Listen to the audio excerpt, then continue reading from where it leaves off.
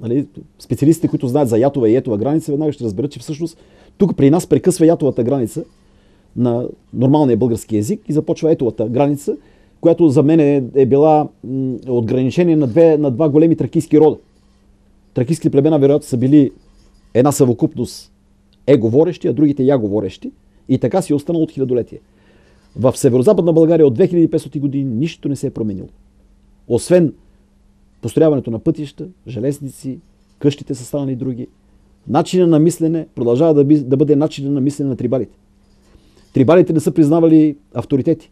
Хиродот, който описва племето трибали като последно племе на света, той е сметвал, че след трибалите не живее никой друг. Първо той твърди, че са били изключително много. Той е наричал района Трибалско море, което означава, че тук има голямо, много голямо население. Второ, липсата на уважение към авторитетите. Той казва, трибалите мразят боговете и царете си. Те не обичат да бъдат подчинени. Когато има грамотевична буря, трибалите обръщат копията си и стрелите си срещу боговете. Започват да замерят със стрели боговете. И до ден днешен в северо-западна България единствено е запазен обичая, като започне да гърми и да трещи, бабите изнасят или бутик, или ръжен, или някакъв нож и го слагат отвън, за да спрат грамотевиците. Това е от 2500 години, от времето на Хиродот. Трибалите са били войни, професионални войни. Останалите тракийски, тракийски племена са ги използвали за е, уреждане на взаимоотношенията помежду си. И вероятно трибалите не са имали много сериозни трудови навици. Те са можели да си набавят всичко по един така нормален за, за един такъв народ от преди 2500 години е, начин да си набавят е, всичко. И от трибалите те връщам пак при Баце. Кои са сентенциите, които изповядва Баце?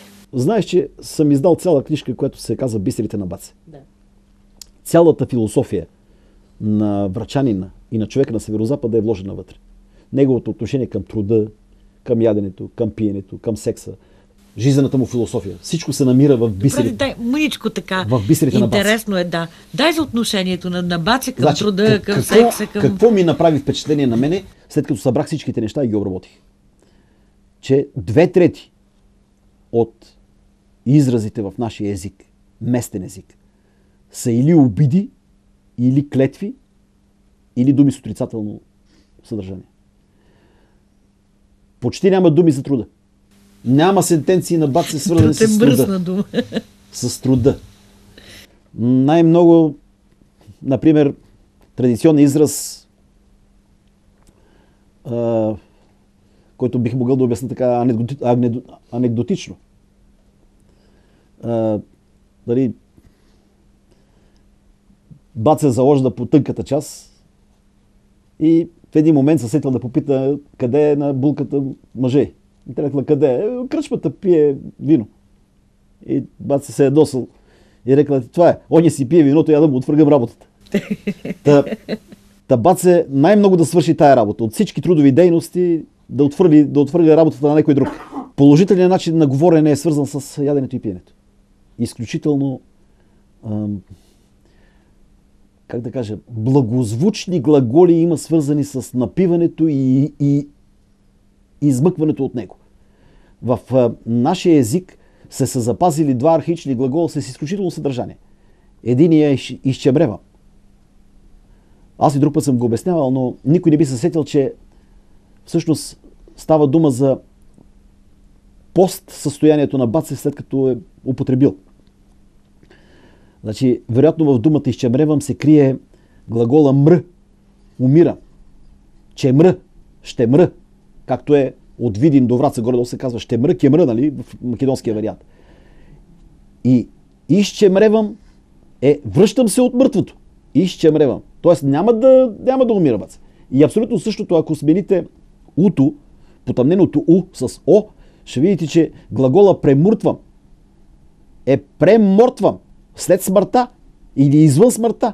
Премуртил. Премуртил това значи, че дали, безпаметно, напил се безпаметно и на другия ден трябва да изтрезнева с традиционния за, за врачани начин. Зелева чорба, люти чушки, червен лук и ако имаш киебе чорба нали, под ръка с много чеса. Добре, друго има ли интересно? Друга сентенция. Пропускаме ли нещо? Ами, трябва да се, трябва да се връщам към... Нали, аз вече съм се настроил за със съдържанието на новия речник, който за мен е така доста голяма гордост, защото много от а, нашите деца изведнъж разберат смисъла на някои от думите, които употребяват родителите им, бабите им, все още живите им баби, и ще разберат колко дълбок а, смисъл понякога има в някой дума. Колко дълбок смисъл има. И ми е трудно да, така, да, се, да се връщам обратно към бисерите, но а, не съм се престаравал да търся а, положителни изрази в език на баце. Не знам дали, дали хората забелязват, но всъщност солта и пипера на нашия език, на нашия говор е ударението. Няма човек, който, ако не е местен, може да улучи къде да сложи ударението на дадена дума. Няма такъв човек. И това се отнася не само за езика, който говорим. Това се отнася за имената на селища ни, за топонимията. Само врачани може да произнесе името на някое врачанско селище. Нормален човек не може да произнесе. Това е голям проблем на Как ще знае той столичните. на Галиче къде му е ударението? Паволче, Паволче. Да. Няма, как да, няма как да знае. Това са натрупвания. Такива. Страшна тайна се крие в това. Ако един ден учените рекат да се занимават само с топонимията на Врачанския край, десетки хора ще станат доктори на науките. Изключителна информация се крие в топонимията. Първо, топонимията на израз на нашия език. Ще ви обърна внимание, например, преди да построят магистралата от Мездра за Враца, се преминаваше през едно място, което се казваше така, незнаещите хора го изговаряха кълни дол и мислеха, че става дума за кал. Той не е кълни дол, той е кълни дол. Кълнеш като минаваш оттам, а не че има кал.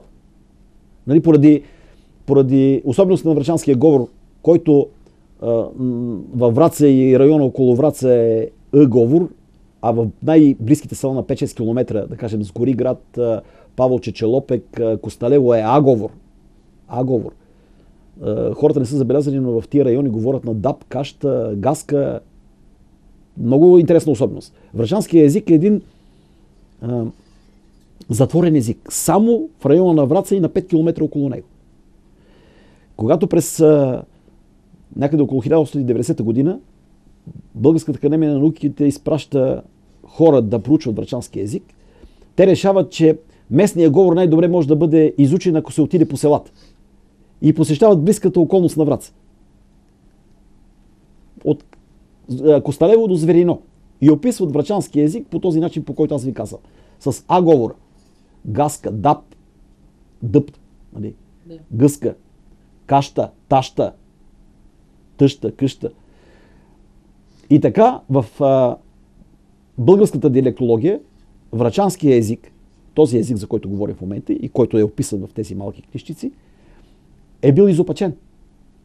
Чак 1942-3 година, тук по време на войната и около бомбардировките, идва да живее един много известен български учен, който по-късно става и академик, Андрейчин, който е брачански зет на фамилията Бекови. И той забелязва, че българската диалектология по отношение на врачанския език е обърната с краката нагоре.